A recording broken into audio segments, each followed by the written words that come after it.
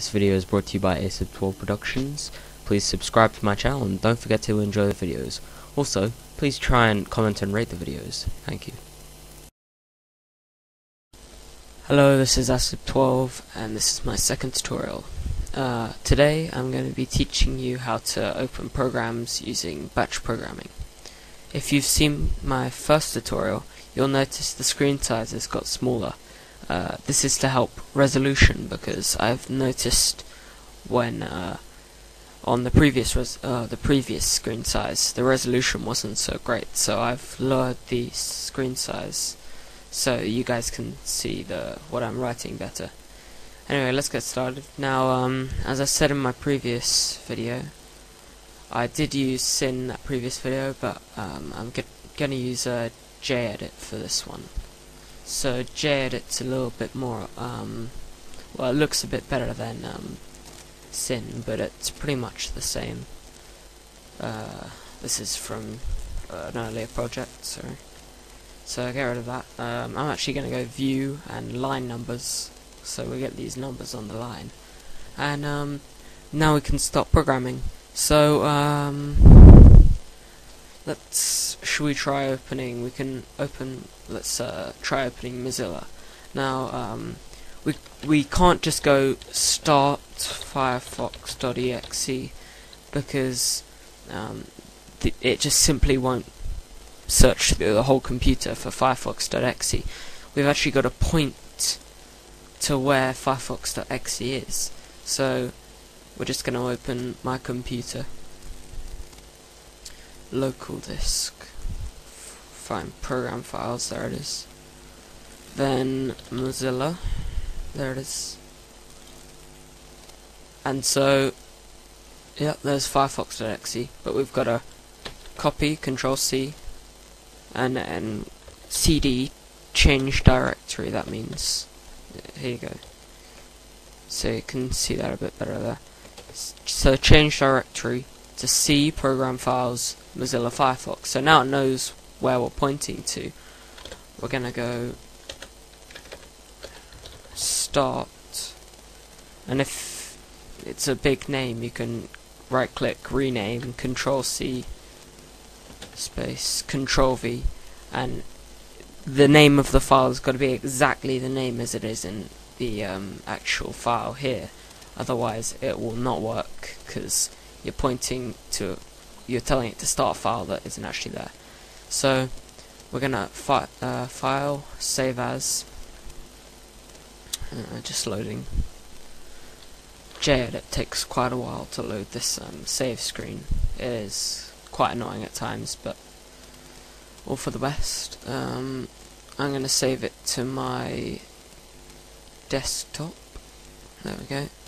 Call it Firefox, and it's got to be firefox.bat lowercase or big letters and then save. Okay, so it's appeared up here. Let's just close these two. And then when we double click this,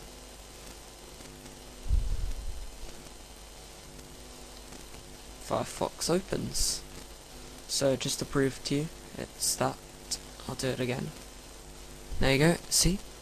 And um, you can do this with anything. In fact, with Firefox, you can make it open certain. Uh, you can make it open more than one tab. Uh, I think on the later versions of Internet Explorer, you have tabs as well, so you can do it then.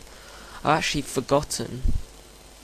Um, uh, I know where I can find it. I've got mine in my documents. I've saved all my batch files to uh, file here. Okay, here we go. I've got this. Just open it with Notepad. Okay, so with this, I've got change directory there. Start Firefox. Uh, here you go. You have to put the address in quotation marks. So I've actually got um, I've put the login for Yahoo. I've got Google and I've got YouTube, so I can check. I can um, open this file up, check my emails. Um, I can have a free tab for Google if I need to search for anything, and I've got YouTube, so I can see if any of the people I've subscribed to have made any videos, or if any of my videos have been replied to. So, for educational purposes, let's say, uh, let's, uh, I don't know, let's say, digg, www.digg.com, close that one off, space, and then we can do another one. Let's do yahoo.co.uk. Ah, we've got to put www here. Oops. Always do it for good practice. Then, finally, let's do YouTube. And so, file, save this, just close them down, and then open firefox.bat. There we go, three tabs loading. Ah, we've got Yahoo there, we can see. Um, oh, unfortunately my Firefox has decided to take this moment to crash, so let's try that again. Just start a new session there. There we go, we've got Digg here, we've got Yahoo here, and we've got YouTube here. And you can, the list can go on. You can have tons of, um, tons and tons and tons of tabs in Firefox, so you can open as many things as you want at once.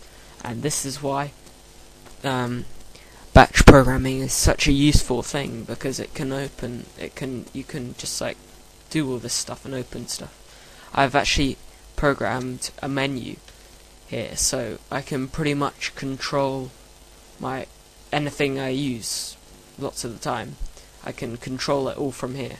This is like I can control my computer from here by typing in a number here I've got please select a number. Can type in any number, let's say um, if we want SYN or iTunes, let's try iTunes. So I type in 2, because iTunes is under 2. And if we wait for a bit, because iTunes can be quite a large file to open. And here we go, we've got iTunes. So that's just two of the examples you can use batch programming to help your life out. Anyway, this has been a tutorial by SF12, over and out.